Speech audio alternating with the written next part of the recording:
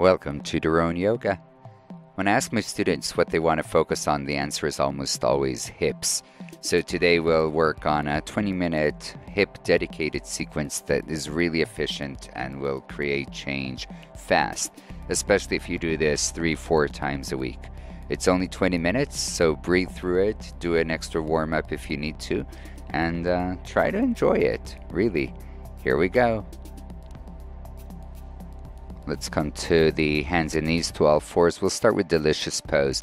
So, really moving the hips in circles up, down, maybe even shoulders, elbows. It's uh, belly dancer deluxe, right? And then go ahead and switch directions. Make it really, really fluid. Let all your lower back and hips get lots of love. And then come to neutral, walk the hands forward for downward puppy. Just really surrender the head down, chin down, chest maybe even down.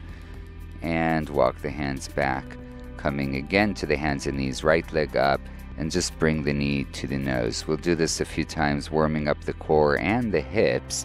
So just um, do that a few times, and then straighten the right leg again. Left le- left arm reaches forward. Both of them powerful, reaching further forward and back, and then every time you exhale, bring the knee to the nose, the elbow in. So exhale, inhale, extend, and then stay for another moment or two. We're gonna do the same thing on the other side. Yippee! Left leg up, and then again, just a few times, knee to the nose. Exhale every time you bring the knee forward. Inhale to extend, warming up the core, and that's it. Stay with the left leg straight, right arm up in the air if possible. Of course, if not, keep the right arm down. Breathe, and then a few times, tuck everything in. So tuck, exhale, inhale, extend. Tuck, inhale, extend and then hold for a couple more breaths and release. Beautiful. We're going to come into downward facing dog, Adho Mukha Svanasana. If you want, bend the knees deeply to really get into the shoulders and upper body for a moment. And then go ahead and bend one knee at a time, letting the legs wake up. And reach the right leg up to the sky. Bend the right knee, opening up the hips. Woohoo. Here we go more hips. Straightening the leg behind you. Exhale, bring the right foot between the hands. Left knee lowers down. Runner's lunge. And then we'll go and take low lunge. Bring the hands to the hips. And really make sure you're sinking heavy down into the hips, right? You can see here I'm lifting in the chest so I'm not collapsing into the lower back, but I am reaching back so I can have as much weight as possible as I let the hips be heavy and the chest lifting up. Hands back to the ground, tuck the back toe. Take a moment here, lifting the back knee. Again, runner's lunge, just feeling those hips heavy. Gravity is on your side, helping you. So, warming it all up, and then we'll add a little twist, right arm up to the sky. Taking the right hand up to the sky, looking up if possible. The hips are still low, back leg strong and right leg down to the ground. Step it back. We'll take our vinyasa. You can use the knees if you need to. Inhale, opening up, baby cobra, and exhale into the downward facing dog. Here we go. Second side. Left leg reaches up. Bend the knee, open up the hips. Stay a few breaths and breathe. Keep pressing the right heel to the ground and then straightening the left leg. Exhale and bring the foot between the hands. Right knee lowers down, taking low lunge. So, really, again, sinking the hips, allowing gravity to do the work for you. Just find a little bit extension in the spine. Mm, breathe. Keep your mind steady and I find that when I'm doing these deep stretches, I just go and deepen my exhales a bit to find even more softness and release. Good. Lifting to the hands down to the ground and lifting up to the runner's lunge for a few breaths. Back leg is active. And then we'll take the twist. So keeping the hips low. You can see it's one straight line, back leg, front knee and then opening up, if possible, looking up to the left hand, breathing. Good. Hands down to the ground. Step it back. Here we go. Chaturanga. Inhale, Urdhva Mukha, upward facing dog. Exhale, Adho Mukha, downward facing dog. Hmm. Anytime you need to take a child's pose, take a child's pose. If you're feeling okay, come on and join us. We're going for another low lunge. So these low lunges really help with the psoas opening. In this case, what I did is I moved my right foot forward, a little further forward and to the right. Then I opened up to the edge of the right foot, meaning my right knee moved to the side, and I lowered my forearms to the ground. This really gets nice and deep and juicy into the hips. You can see I even slid my back foot further back because I wanted more intensity. For those that need less intensity, stay up. Maybe put your forearms on the block. Maybe keep the hands on the ground, right? So each one of us will have to always modify according to our needs. But no matter what, you can do this pose from very beginner to super advanced and enjoy it. Good. Here we go. Lifting back up. I'm bringing my knee forward a bit to release, stepping it back, taking your vinyasa, chaturanga, with or without knees, up dog and downward dog. And then we'll bring the left foot forward, right knee down. You can see here a little clearer how I'm doing it, opening the knee to the side, right? And again, if I really want to make it um, spicier, I'll try to keep both hips parallel to the ground, meaning instead of just kind of rolling onto the right hip, I'll keep weight moving on to the left, which will definitely make it more intense. My gaze is at one point. You can see the fingertips pretty relaxed. If I need more intensity, I walk the forearms forward or the back knee back. My spine is somewhat long, right? I didn't collapse the head and chest, keeping the gaze a little forward. So try to do the same if you can and deepen the exhales to find more softness, more release. And when we're in these poses, there's nothing to do. Just stay and breathe. Stay and breathe. Great.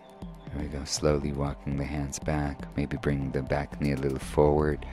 And then we're going to come to all fours again. I'm doing knees, chest, chin. You can do chaturanga. Here I go, baby cobra, downward dog. Your choice. You can always do either cobra or upward facing dog. Right foot comes forward again. Left knee is to the ground. We're going to intensify it a little bit and go a little more into the quads as well. So, um, sink as much as you can into the hips like we did in the low lunge but then maybe um, if you can reach with the right hand take hold of the left foot and bring it closer to your hips if that's easy enough lower to your left forearm and really press it towards your hips and lengthen breathing again. Right here we go. Slowly slowly release the pose. And you can redo the pose again or if you if it's available for you try to do the same thing this time without going down. We're keeping the hips really low. My right knee is more or less about the right ankle and i'm bringing the left foot as far forward as possible. For those that know the Bakasana, it's kind of like that i'm going to take a little crazier variation most of us won't do it it's adding a little more back bending into it just because i love it so you can either hook the left elbow around the foot. If available, reach back with your right hand. If available, take a deeper back bend with the head back. Again, this is just for fun. I couldn't resist. But you can totally stay in just stretching your psoas and quads as before. Good. Releasing. Again, taking your vinyasa. Make sure you breathe through it. It's our little bit of movement, a little bit of warming up between sides to keep the body nice and fluid and supple. So, again, starting with right hand down, left hand reaches back for the right foot. Bring the right foot as close as possible to your hip. Breathing here. Make sure you're heavy with the hips. And then releasing. And we'll take the second variation. I forgot to show you here with the forearm down, so you can do that for a few breaths and then going for the second variation with the um, with the without lowering down. So this time I'm either staying up with foot towards the hips or I am hooking the back arm to hold the leg as I take the left hand to the foot and opening up the spine, opening up the chest, a little deeper back bend. Um, I find that the hips really relate to the back, and as we open the hips, it actually helps us be more open in our lower back. So that's why I add sometimes back bends to it. Release, take your vinyasa, meeting in downward dog. Take a breath or two there.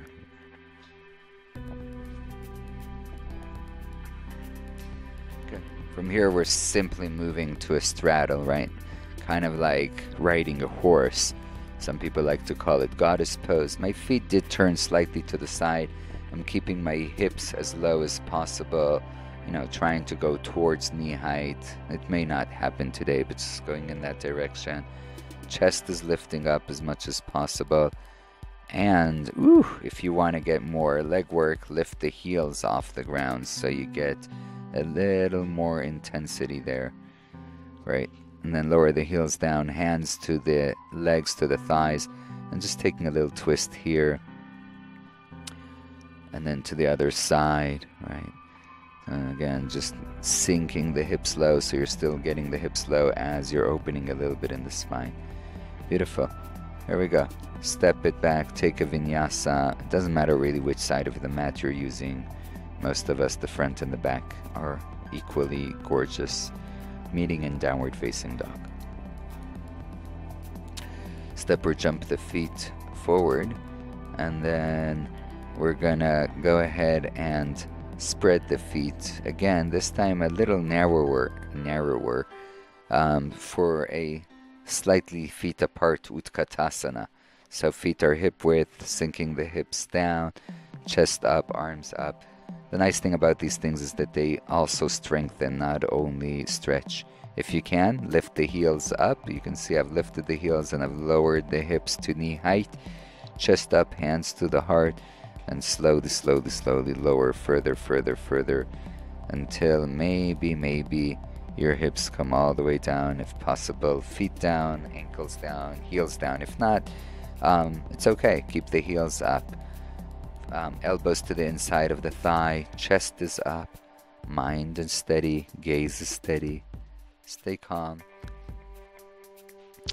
Variations, if you need more intensity, then go ahead and walk the arms forward, stretch your chest forward.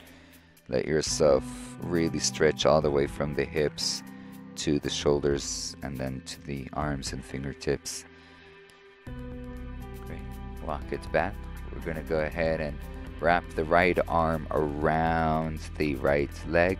If you can, take a bind, open the chest, look up. Hips are constantly low to the ground. Combining the hips with a bit of openness in the spine. Really healthy for the back. Great. Switching sides and then take there a few breaths and eventually lower to your seat. Great. Once you took your seat, we'll take the feet together and open them as much as possible, almost like you're going to read a book. Knees to the side, preparing for Baddha Konasana, bound angle pose. When you're ready, start to lower down. Some of us will be sitting on a block here. If you're in a big slumpasana in your spine, sit on a block so you can actually tilt your hips forward. If that's um, if that's if you don't have a block, you can do what I'm doing now. I'm just using my hands behind me to help tilt the hips forward and pushing the chest forward. And then just go down as far as you can go, right? The good news is if you keep practicing this, eventually you'll also be down to the ground just be patient. Be patient. And hips are like our biggest challenge for patience for many of us. Coming up, taking the feet wide apart for Upavishta Konasana. I'm really working on tilting the hips forward. Again, you can use the hands behind you. You can sit on a block. If that's available, walk the hands forward. If that's available, lower to the forearms and then eventually just stay and relax here if you can lower the head down to your hands and just breathe so we're not doing a ton of movement here we're really trying to find almost like yin moments poses moments of surrender. Inhale, coming up. And we'll turn over to the right side. Really open the chest towards the sky, reaching the right hand towards the foot, left hand also towards the right foot. If not available, you can just keep it behind the head, that's fine. Or in the sky, like I'm showing here, the variations. So uh, I'm feeling it in the hips and the leg, and I'm opening the chest. Inhale, coming up, and exhale, we'll switch sides. This time, left elbow down, right hand either behind the head or shoulder blade or reaches to the foot as well. And again, try to maintain breath, lower as much as you can, but while you're lowering down, try to keep length in the spine. Don't just collapse down. I'm using bandhas. Inhale, coming up. Good. Shake it away a little bit. Woohoo! Life's good. Shake everything. Shake your hand, mouth. Blah, blah, blah and release. Whew. Especially if you find yourself getting a bit intense, it's always good to just shake it away, speak a little gibberish, and then we'll take ankle to knee pose. So you can see my ankle was on the knee, my knee was up in the air, and for some of us, that's where you're going to be. Some of us will lower the ankle all the way to the foot, and that's fine. Some of us, none of that is available, and we'll have to do the variation I'm just showing right now. So again, finding whichever variation works for you. And then once you find it, lengthen the spine and surrender into the pose. Just stay and breathe. Especially if it's easy for you, be precise with the ankle to knee, otherwise, you won't feel much of anything. Go ahead, switch sides. That means your ankle is right on the knee and the other ankle is right underneath the knee. The legs are um, parallel to each other, the shins are parallel to each other. That's why they call it actually fire log pose, Agnistambhasana, because you're really stacking your shins like they were fire log in a very nice and neat way. Inhale, slowly coming up. Again, releasing. And then let's come into all fours and just move the legs and the hips to be able to release a little bit, shake it away Great. And then let's take big circles with the hips. So really use as much of range of motion as you can. I'm moving pretty fast here. You can go slower, go in both directions. I like to go a little fast to create a little muscle work here so that um, I'm balancing the hip stretching with hip strengthening. Switching legs, big circles. You may actually feel even your shoulders working here, and that's fine. Go ahead, switch directions it, this is also great um, glutes work. It'll make you help you get sexy buttocks. Nice. Oh, the lovely pigeon. Maybe this is the most well-known pose for hips. So if you keep the foot closer to your hips, it's a little more manageable for very open hips. Work on taking the foot forward as you lower down, if you do lower down to your forearms, just again try to lengthen the spine, keep the gaze slightly forward. If you do collapse the head, that's fine. Just try not to go into too much thinking. Stay present with deep breathing and soft gaze or closed eyes. All that's fine, you can see I lowered here the head all the way down, but I'm still maintaining as much as possible a long spine and even crawling the elbows forward to elongate further. So we'll stay here for a little bit. Make sure again you deepen the exhales and breathe. Slow, steady, smooth breaths.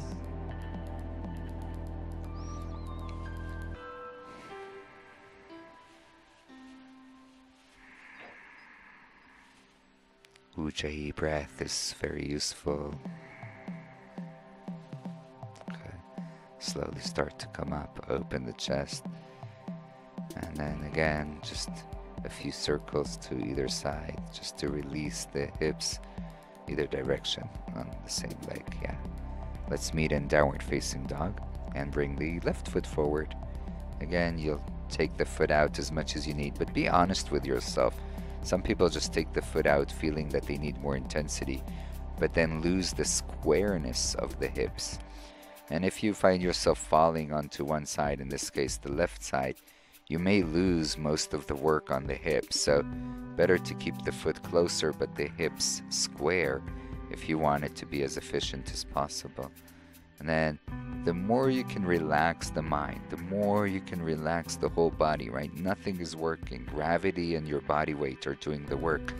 The quicker it actually happens because there's no resistance. If you feel it intense, that's okay. Just try not to call it by bad names, right? Just let it be intense and you can stay with your breath. That way, again, the body will just find its way to surrender and open, especially since hip openers are very much related to emotional holdings. So, the more free you are with your emotions, the quicker and easier it will be for the hips to open. Slowly coming up, again coming to all fours and taking a few circles to each direction on the left leg. And then when you're ready, either downward dog or if you want to take a vinyasa, go ahead and take a vinyasa.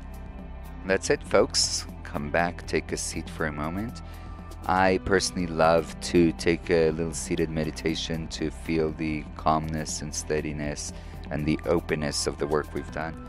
Uh, but you can always just bring your hands to your heart for a moment and take a moment of gratitude, like I am thanking you right now very much for your participation and work with me together here.